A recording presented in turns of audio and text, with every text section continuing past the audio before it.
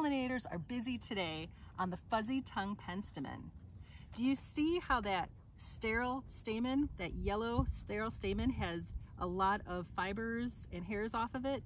Well, this pollinator is getting a lot of pollen as he's going for the nectar and will take it to the next flower. Fuzzy tongue penstemon.